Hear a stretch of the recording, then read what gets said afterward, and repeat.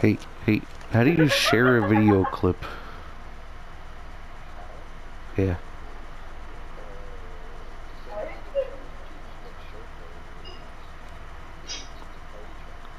Like I just